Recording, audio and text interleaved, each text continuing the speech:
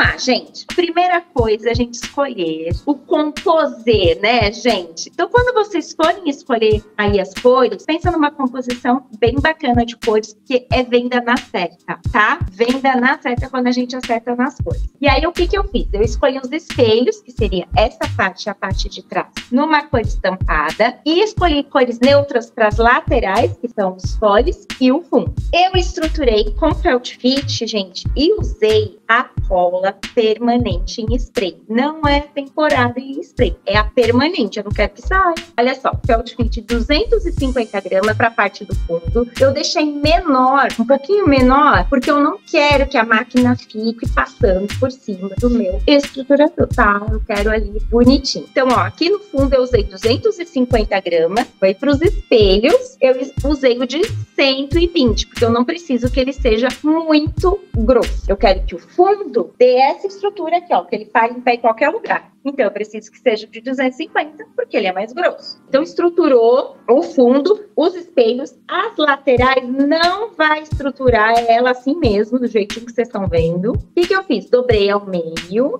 meu fundo, dei um piquezinho. Eu vou fazer isso em tudo. Pique no fundo. Peguei aqui o meu espelho, dobrei ao meio, pique, pique. Já vou picar tudo para explicar tudo de uma vez. Aqui a lateral, são duas laterais, dobro, pique também nas duas laterais. E aí eu vou alinhar, ó, o pique do centro com o pique do espelho. Venho para a máquina e já faço uma costura, tá? Bora lá, gente. Agora eu tô costurando o outro espelho aqui no fundo também, gente. Olha só, deixa eu mostrar pra vocês. Então já tá tudo costuradinho, só que, ó, vocês estão vendo que tá meio, né, uma marcação bem esquisita. Então é por isso que a gente tem que rebater costura. O que é isso, mãe? É colocar essas partes aqui, ó, ficar no lugar delas. Sabe o famoso mostrar quem é que manda, mostrar o lugar de cada um mundo, essas coisas? Então eu tô empurrando, olha só, eu tô empurrando aqui pro fundo essa dobrinha e depois eu passo uma costura bem na bordinha aqui, ó, do fundo, para que essa coisinha aqui fique bem colocada, bem posicionada no lugar dela. Por isso que a gente rebate costura, gente.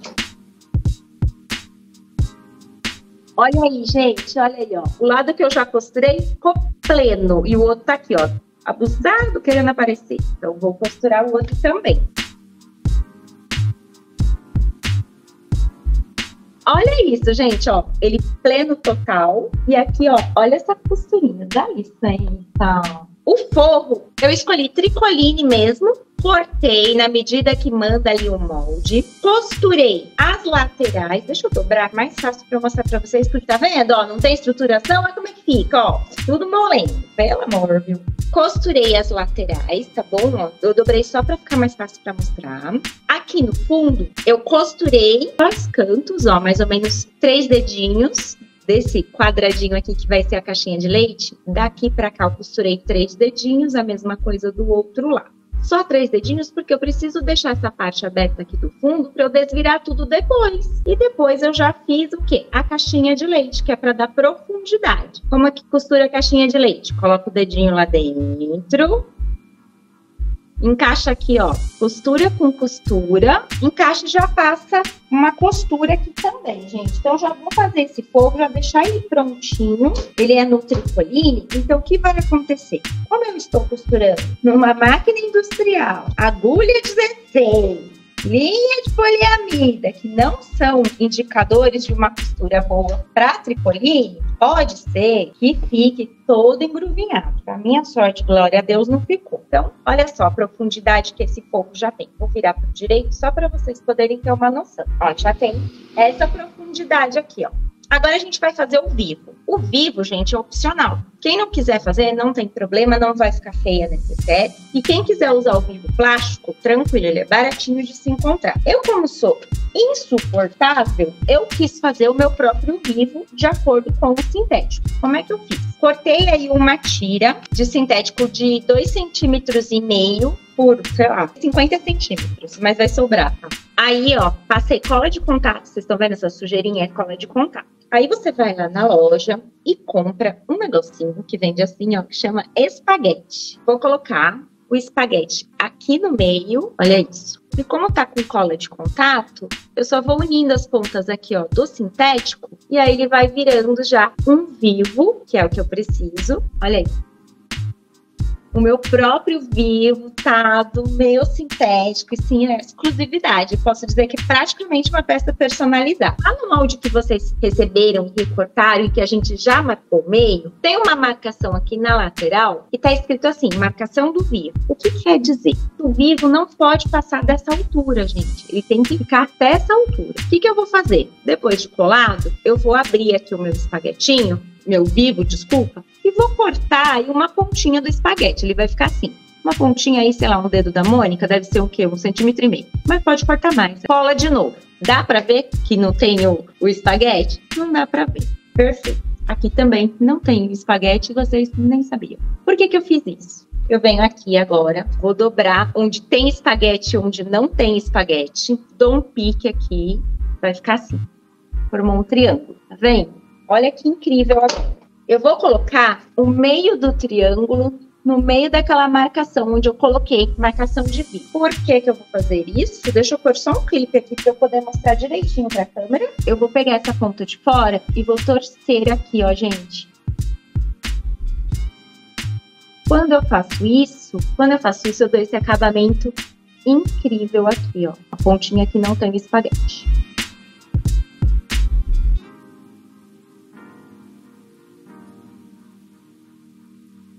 Olha só, gente, eu estou alinhando aqui através da costura, estou colocando costura com costura para eu marcar o centro. E agora, olha o que, que eu vou fazer.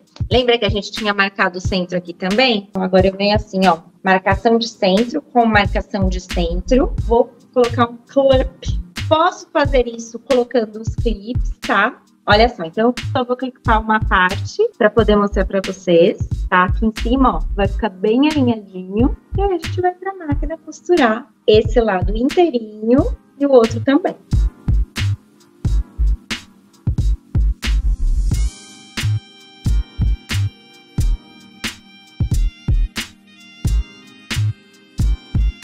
novamente clipei o comecinho aqui, ó, do meio para o começo e vou costurando aqui de novo.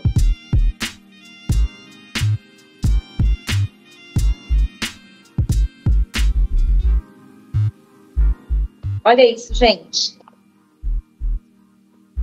Lembra que eu falei que eu não queria estrutura aqui na lateral? É justamente para quando ela estiver cheia, ele ter espaço, ó, para escorregar as coisas para o lado. Olha isso. Lembra que eu falei que o acabamento do vivo ficava incrível quando a gente empurrava a pontinha para dentro? Como eu disse, eu tinha marcado os meios, lembra? Zíper, eu selei ele aqui com isqueiro, ó, tá? Marquei o meio. Então, agora eu venho aqui desse jeito. Vou colocar o direito do zíper com o direito aqui do meu sintético e vou clipando. Aqui ficou um pouquinho maior, então eu já aproveito para arredondar, chovendo demais. Comece sempre alinhando aqui pelo centro, tá bom? Sempre fazendo isso, tá? E outra coisa que eu quero mostrar para vocês, aqui, ó, da pontinha do V para cima, eu marquei, gente, 3 centímetros, tá? Ó, a caneta ali, ó, fica marcadinho. Porque é a altura de onde eu vou costurar o meu zíper. Na outra parte de baixo, eu não vou costurar esse zíper. Então, eu começo e termino ali, nessa marcaçãozinha. E aí, eu venho, começo naquela marcação de 3 centímetros que tem ali. Essa marcação de 3 centímetros não está no molde. E aí, eu venho costurando bonitinho aqui.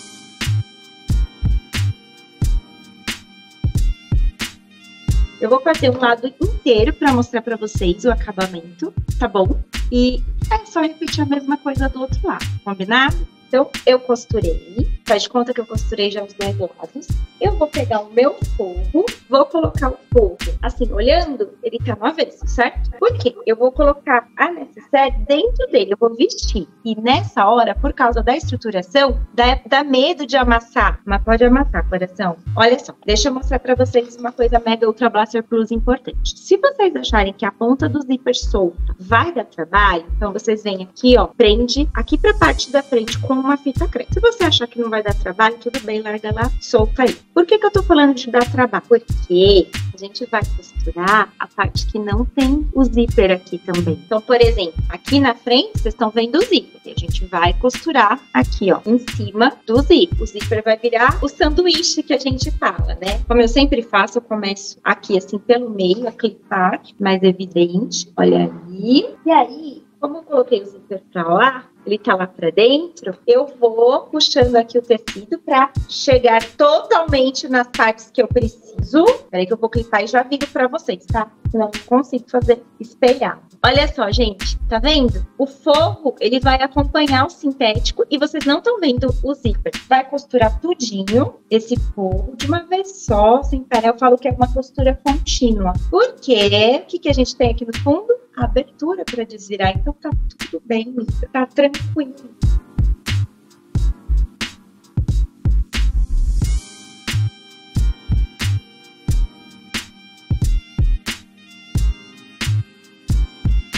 Gente, como eu ainda não costurei o outro lado, eu prometi que pra não ser tão longo eu ia costurar só um lado, eu vou desvirar por aqui mesmo, tá? Pelo lado que eu deixei aberto. No dia que vocês forem fazer valente, vocês vão desvirar pelo fundo que a gente deixou aberto, hein, gente? Promete. Olha isso, gente. Olha, lembra que eu falei? Era para costurar, continuar costurando loucamente? Aí você olha e fala, Mônica, ficou triste. Ficou, amiga, só falta a gente posicionar. Quer ver posicionar aqui? Você falar, não, não acredito. É só ir dobrando. Como que vai dobrar? Vai dobrar o sintético pro, do lado do sintético e o forro do lado do forro. Não tem muito jeito, não. Por mais que apareça assim, que um vai querer repuxar pro lado contrário, é só você fazer isso. Ó. E aí a gente vem rebatendo costura de tudo loucamente também. Costura contínua, como eu disse, tá?